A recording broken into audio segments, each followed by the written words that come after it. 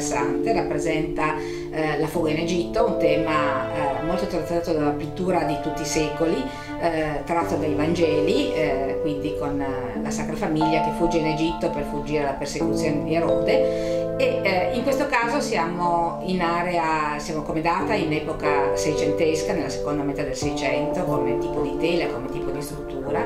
E eh, come stile della tela, eh, come stile del quadro anche. Eh, il quadro è opera di un pittore popolare di area nord italiana, ehm, non, non, definibile diversamente perché i pittori popolari non hanno una vera e propria scuola, un modo di essere per cui sono distinguibili così facilmente, ma eh, ha un segreto molto interessante perché eh, la composizione è molto bella, il quadro è mh, dal punto di vista artistico eh, appunto un po' ingenuo di fattura, ma la composizione è particolarmente riuscita e eh, mi è venuto il sospetto che non fosse sua, come spesso capita eh, tra i pittori non solo minori ma anche maggiori. Infatti l'artista si è eh, ispirato, e anche in maniera abbastanza precisa, a un'incisione di Jean Sadler I eh, tratta da un'opera di Martin de Vos. Siamo nel 1579, eh, la data dell'incisione, e eh, nel, nel, appunto nell'incisione da cui trae eh, la composizione si vede la stessa figura della Vergine, eh, lo stesso asino piegato, lo stesso gruppo qui di di angeli qua sopra eh, con le nuvolette delle varianti perché San Giuseppe che era al fondo nella composizione, che era in cima nella composizione lo mette al fondo. Ecco, quindi eh, fa questo, questo strano gioco perché non sia quasi riconoscibile.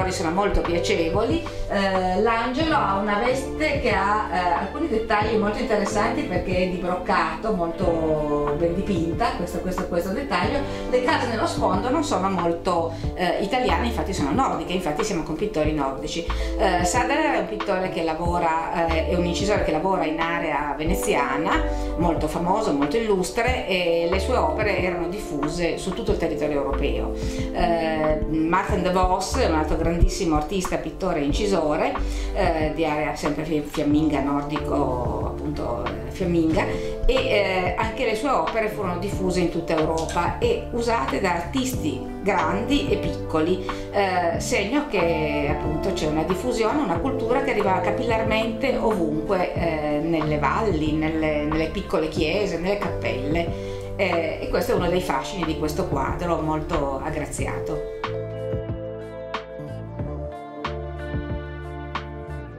Questo restauro, come sempre accade in dipinti così antichi, ha previsto la rimozione di inadeguati interventi effettuati in passato. Il mio intervento di restauro è stato suddiviso in due fasi successive.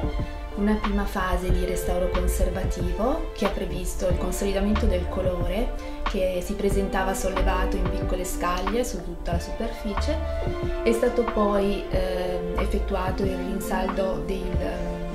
dei tagli e degli strappi con la tecnica dell'incollaggio filo a filo e con la stessa tecnica sono stati inseriti dei piccoli intarsi eh, dove erano presenti dei fori e dei buchi eh, sul dipinto, quindi con mancanza di tessuto in tela, in tela di lino. Dopo questa prima fase conservativa invece si è passati alla fase diciamo di recupero più estetico dell'immagine con la pulitura del dipinto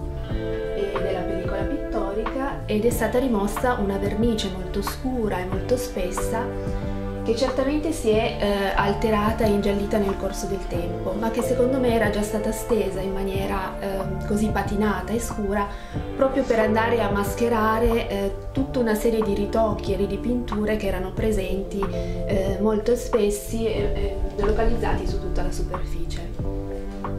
Attraverso quindi la fase di pulitura, una pulitura selettiva, si è rimossa questa, questa spessa vernice e si è potuto così recuperare le cromie eh, originali che come vedete sono molto chiare e vivaci. L'intervento è poi proseguito con la stuccatura delle numerose lacune e con il ritocco pittorico che ha permesso di recuperare completamente la leggibilità della,